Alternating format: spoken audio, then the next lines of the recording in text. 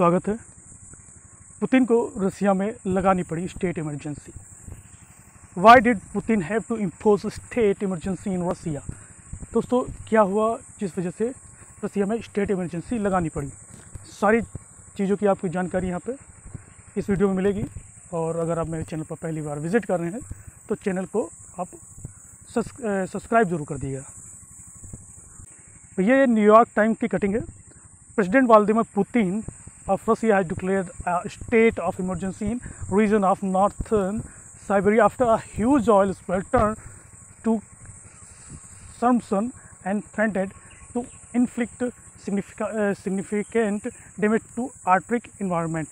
दोस्तों दोस्तों अगर प्रोनाउंसिएशन में इधर उधर गलती हुई तो सॉरी तो रूस के साइबेरिया में एक पावर प्लांट से करीब बीस हज़ार टन डीजल का रसा हुआ जो कि एक नदी में अंबरनाया नदी है उसमें जाकर गिरा, जिससे पानी का रंग जो है पूरी तरह से बदल गया रेड हो गया पूरा कलर ठीक है? आप देख रहे होंगे वीडियो में वालदिमिर पुतिन ने इस वजह से राज्य में इमरजेंसी की घोषणा की है, ठीक है?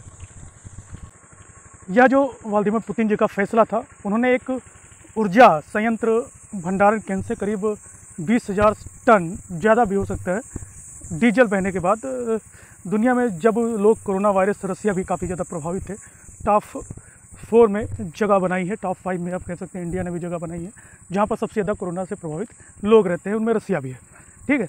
तो संकट के समय एक और संकट आ चुका है रसिया के सामने। ये जो घटना हुई है, ये नॉर्लिक्स शहर से बाहरी इलाके में स्थित है, एक ऊर्जा संयंत्र उसमें हुई है, जो कि मॉस्को से करीब तीन हज़ार किलोमीटर दूर है।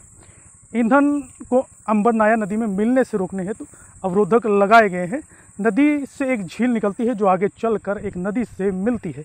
यह नदी पर्यावरणीय रूप से संवेदनशील आर्कटिक महासागर की तरफ़ जाती है।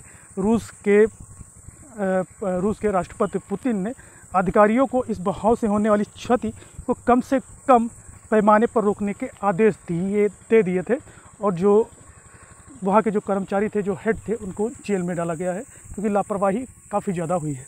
आपको बता दें कि रसिया में जितना भ्रष्टाचार आप सोचते हैं कि वो सबसे ज़्यादा भ्रष्टाचार वहाँ पर होता है, ठीक है? इंडिया से भी ज़्यादा, ठीक है? अगर ब्रिक्स देशों की बात करें तो ब्रिक्स देशों में रसिया में सबसे ज़्यादा भ्रष्टाचार इन देशों में शामिल है। वर्ल्ड लाइफ फंड रूस के संचालक जो हैं एलेक्सी के मुताबिक मछलियाँ एवं अन्य संसाधनों को काफ़ी ज़्यादा नुकसान हुआ है। इससे करीब तेरह मिलियन डॉलर का कम से कम नुकसान होगा।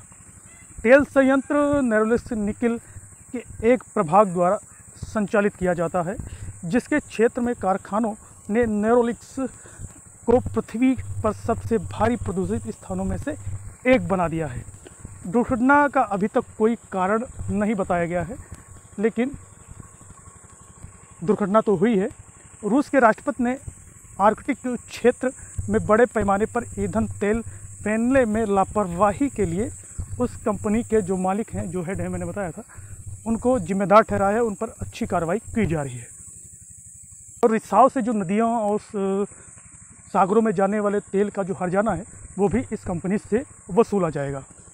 ऐसा पहली बार रसिया में कहें तो नहीं हुआ है। रूस में एक घटना जो 1994 में हुई थी, काफ़ी ज़्यादा तेल रिसा हुआ था। और एक आपातकालीन घोषणा की गई थी। 2016 में एक दुर्घटना हुई थी। एक ऐसा ही प्लांट था। प्लांट के प्लांट से करीब पास की नदी में काफ़ी ज़्यादा तेल का रिसा हुआ था। तो नदी का कुछ एरिया लाल हो गया था डीजल की वजह से, ठीक है, तेल की वजह से, ठीक है, जो भी हो। कंपनी पर करीब एक हज़ार डॉलर से कम का जुर्माना लगाया गया था, ठीक है। रूस के जो पर्यावरण विशेषज्ञों का मानना है कि साइबेरिया क्षेत्र में अब जल और मृदा संकट की आशंका जताई जा सकती है। जो तेल है, नदी में इमरजेंसी अगर नहीं होती तो फिर क्या होता कि तेल बह रहा होता, कोई उपद्रवी जो लोग थे, वो अगर माचिस वाची लगा तो काफ़ी ज़्यादा काफ़ी ज़्यादा जितना प्रदूषित एरिया है, उससे कई गुना ज़्यादा प्रदूषण होता। और उनके मुताबिक जो था कि करीब पैंतीस तीन सौ पचास वर्ग मील से ज़्यादा एरिया प्रभावित हुआ है। यहाँ अंबरनाया नदी में बीस हज़ार से ज़्यादा पेट्रोलियम उत्पाद मिल जाने से इसकी सफ़ाई करने में काफ़ी समय लगेगा। करीब बताया जा रहा है कि इसमें करीब दस साल तक समय लग सकता है इसको पूरी तरह से साफ़ करने में। प्लांट में रिसाव, उसके फ्यूल टैंक के एक पिलर के नीचे धंसने से हुआ है। काफ़ी ज़्यादा बर्फ़ रहती है, बर्फ़ पिघलने की वजह से काफ़ी प्रदूषित होता है एरिया प्रदूषण वाले एरिया में आता है। दुनिया के। तो प्रदूषण की वजह से गर्मी से बर्फ़ पिघली होगी। इस वजह से प्लांट थोड़ा धस गया होगा। इस वजह से लीकेज हुआ होगा, ऐसा बताया जा रहा है। और ये जो कंपनी है, ये निकल और पैलेडियम धातु के उत्पादन करने के मामले में दुनिया की शीर्ष कंपनियों में शामिल है। फ़िलहाल इस रिसाव से काफ़ी पर्यावरण इससे ज़्यादा प्रभावित होगा और जलीय जीवन को काफ़ी ज़्यादा नुकसान होने वाला है। फ़िलहाल ये शहर दुनिया के प्रभावित, सबसे ज़्यादा प्रदूषित शहरों में गिना जाता है। अब इसका स्थान और ज़्यादा होगा क्योंकि अब ये अब और प्रदूषित होने वाला है। दोस्तों, वीडियो कैसा लगा ज़रूर कमेंट के माध्यम से बताइएगा। आपसे एक क्वेश्चन है जो रिसाव हुआ है रसिया में, ये किस नदी में हुआ है? मैंने बताया है इस वीडियो में, लेकिन आपको इस वीडियो का जो प्रश्न है, इसको कमेंट के माध्यम से आपको बताना है। ठीक है? वीडियो को लाइक कीजिएगा, शेयर कीजिएगा और अपनी राय ज़रूर रखिएगा। जय हिंद।